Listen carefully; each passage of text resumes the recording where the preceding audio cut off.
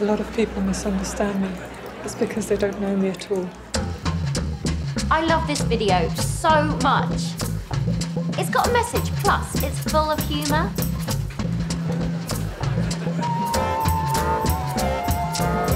Ace sucks. I hate people that talk down about him. He was a great guy.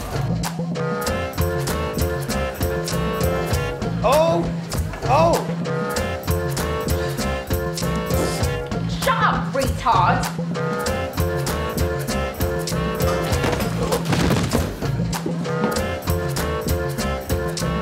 That's what you think. I got my own opinion about it.